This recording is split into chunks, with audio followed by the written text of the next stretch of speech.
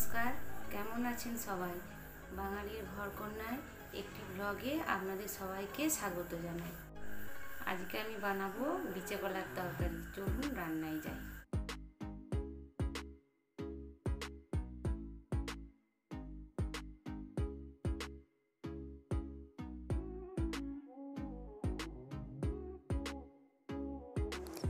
এই যে দেখছেন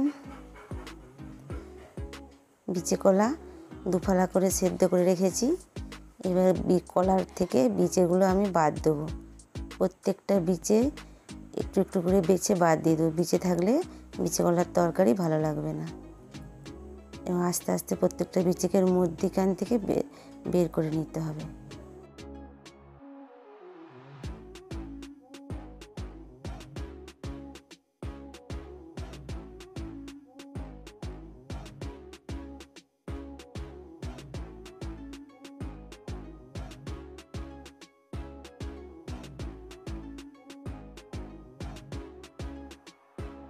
বিচিগুলো বাদ দিয়ে দেবো ভালো করে। আস্তে আস্তে বেছে নিতে হবে।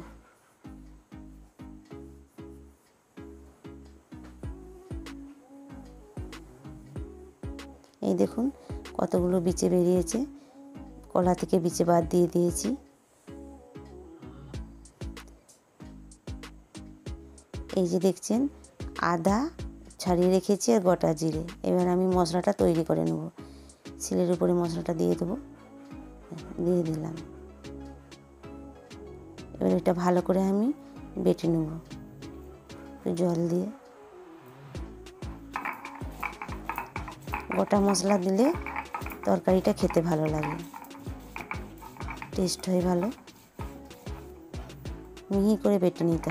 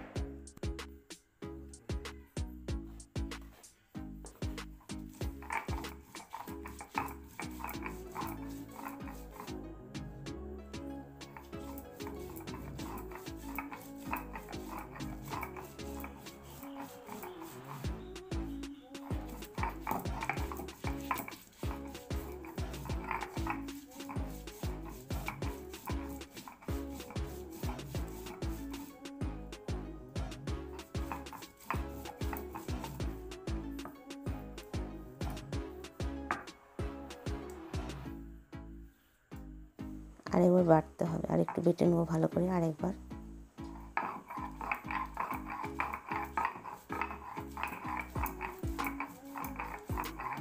আরও ভালো মিহি হয়ে যাবে বান্নাটা।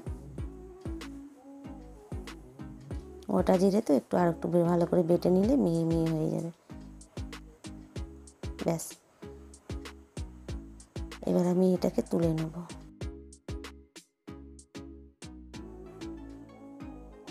ব্যাস, আদা জিরে আমার বাটা হয়ে গেছে। দেখুন, আদা জিরে বেটেছি। এই যে দেখতে পাচ্ছেন তো, এই যে কাবলি ছোলা ভিজিয়ে রেখেছিলাম। এটা আমি এবার শিলের মধ্যে দেবো, ভালো করে বেটে নেব।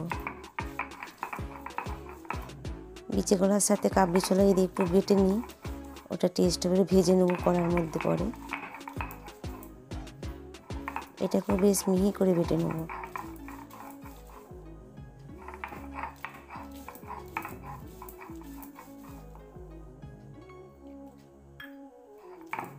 কাবলি ছোলা এমনিতেই তো খেতে ভালো লাগে।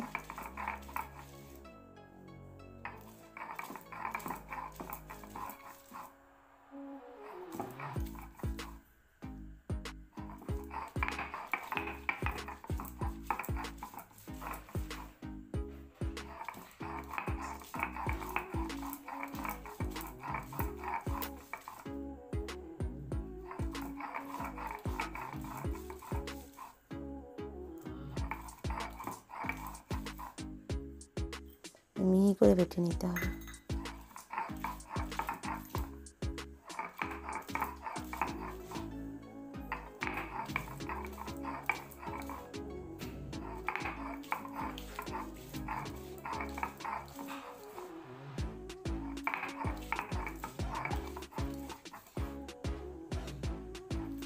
একটু টাইম লাগে। গোটা গোটা ছোলা তো?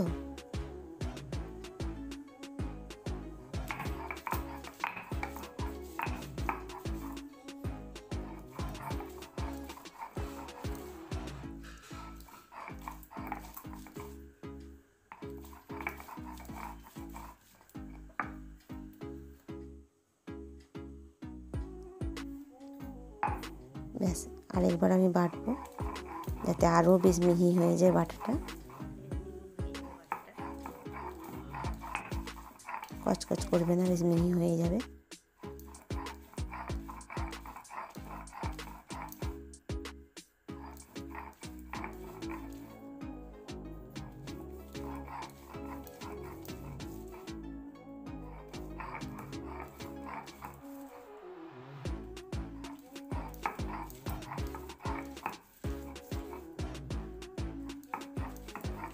সুন্দর লাগছে দেখুন, এই ছোলার ডাল বাটা খুব সুন্দর লাগে তরকারির মধ্যে দিলে। অন্যরকম একটা স্বাদ আছে।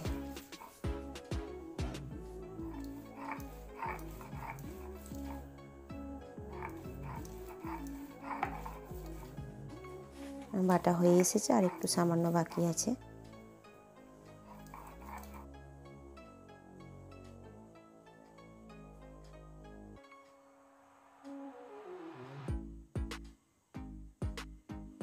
পুরোটাই আমার বাটা হয়ে গেছে।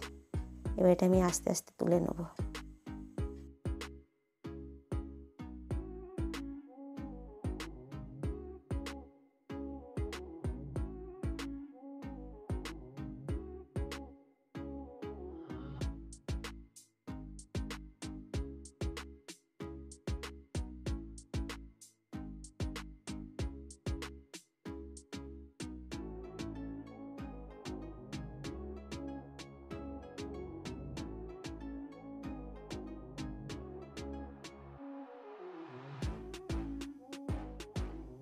সিরিজ করার উপর তেল দিয়ে দিয়েছি।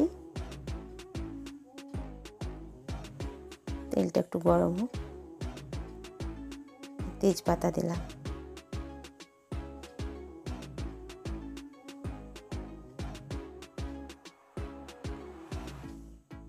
তেজপাতা একটু ভালো হয়ে পেকে যাক কড়াইয়ের উপরে। এবার পাঁচ ফোড়ন দিলাম।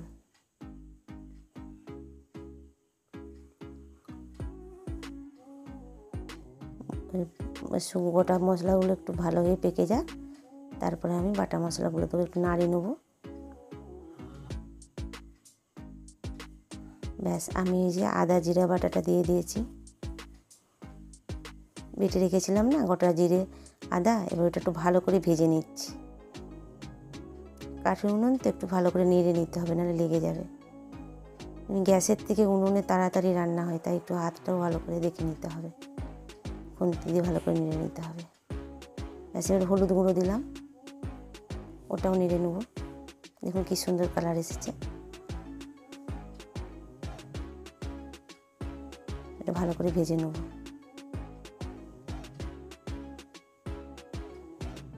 এরপরে আমি এসেছি ডালের বাটা, ছোলার ডাল, কাবলি ছোলার ডাল বাটাটা এর মধ্যে ভালো করে মিল ভেজে নিচ্ছি। ভেজে নিলে স্বাদটা ভালো হবে।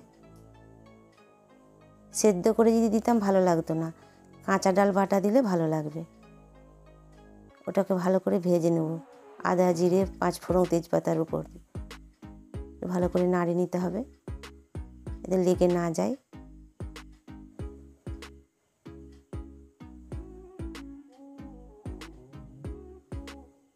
ভালো করে নাড়িয়ে নিচ্ছি।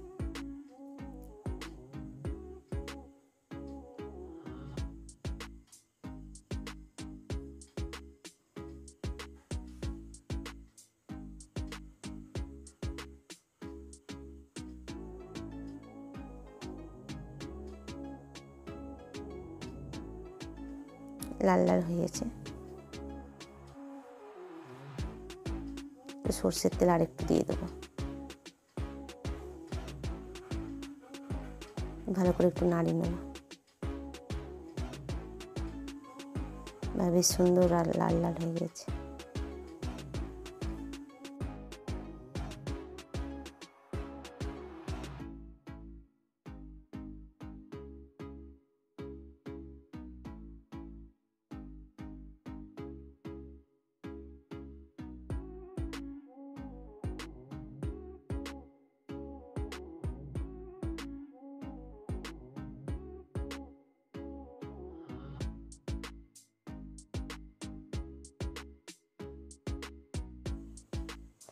এই যে দেখছেন, টমেটো কেটে রেখেছি গোল গোল করে, ওগুলো ওর মধ্যে দিয়ে দিলাম।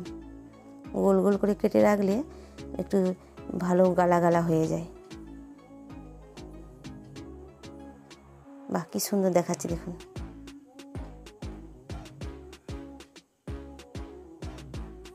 একটু লবণ দিয়ে দেবো। টমেটোটা গলেও যাবে, তরকারির প্রয়োজন মতো লবণ দিয়ে দিলাম। এই যে খুন্তির ডোবাতে টমেটোটা গালা গালা হয়ে যাচ্ছে লবণ দেওয়ার ফলে।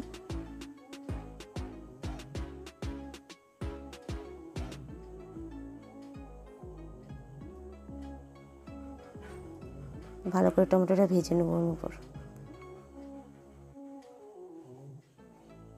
প্রায় টমেটো গলেই এসেছে। একটু অল্প বাকি আছে টমেটো গলার জন্য টাইম বাহ, বেশ মাখো মাখো হয়ে গেছে।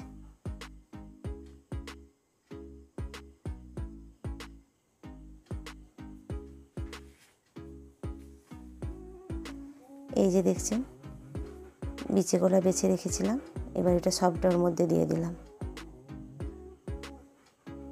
এর খুন্তির ডগে বিচে কলাগুলো বেশ মাখো মাখো হয়ে যাবে। ওটাতে নাড়তে নাড়তেই দেখবেন বেশ সুন্দর একটা মাখো মাখো একটা ভাব চলে আসবে। খুন্তির ডগেতেই কাটা কাটা হয়ে যাবে। আপনাকে হাতে করে আর মাখতে হবে না। কেন হাতে করে মেখে নিলে তাহলে খুন্তির উপর আবার অনেকটাই গোলা গোলা হয়ে যাবে, তখন আর ভালো লাগবে না। এই যে দেখছেন, একটু লঙ্কা গুঁড়ো দিলাম।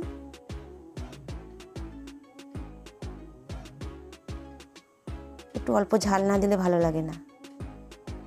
এতে শুকনো লঙ্কা ফোড়ন দিই না, কেন কারোর মুখে যদি শুকনো লঙ্কাটা লাগে, ঝাল লাগবে বেশি। ভালো করে একটু ভাজা ভাজা হয়ে যাচ্ছে ওর মধ্যে, মশলার সাথে মিশিয়ে যাচ্ছে বেশ।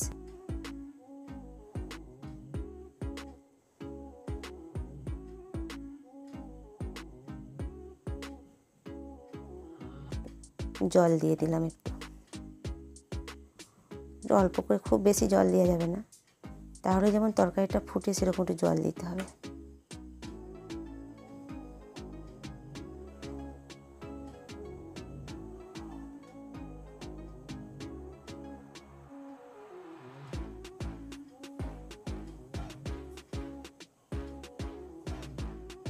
এই যে দেখছেন, তিন রকমের কলাই আমি ভিজিয়ে রেখেছি।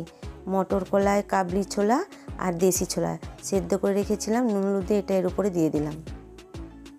যাতে তরকারিটা খেতে ভালো লাগে, টেস্ট হয়। শুধু বিচে গলা তো আঠা আঠা লাগে, ওর মধ্যে একটু বিভিন্ন রকম দিয়ে রান্না করলে ভালো লাগে। বিচে গলা কাঁচা হয় তো, কাঁচা অবস্থায় নাহলে বিচে গলা রান্না করা যায় না। ব্যাস, এটা দিয়ে আমি ভালো করে নেড়ে নেব চার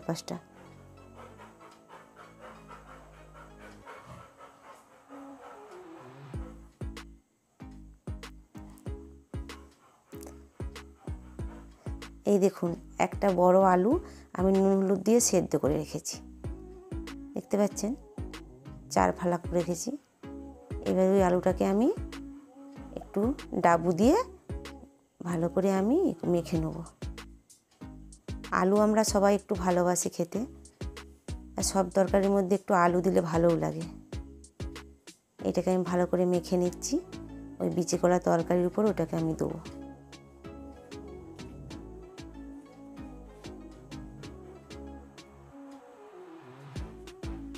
বেশ আলুটা দিয়ে দিলাম।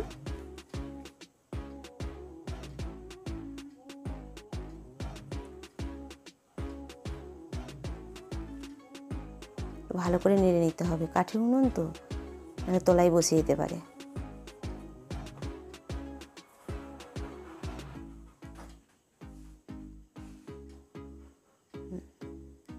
বাকি সুন্দরের দেখতে ভালো লাগছে।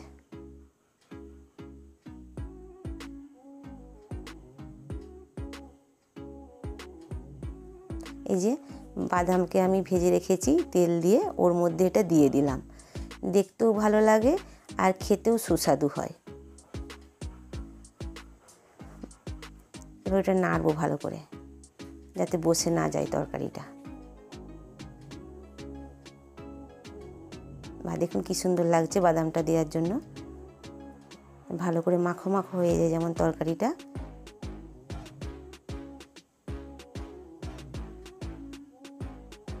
বিচে কলার তরকারি অনেকেরই খুব পছন্দের।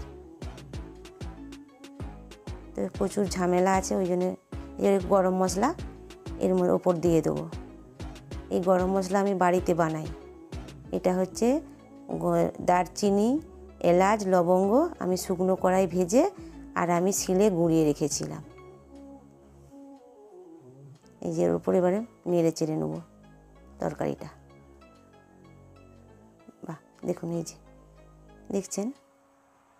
খুব সুন্দর লাগছে। খেতেও খুব সুন্দর হয় বিচে কলার তরকারি। ওই যে আমি বললাম, বিভিন্ন রকম বোনাস দিয়ে করতে।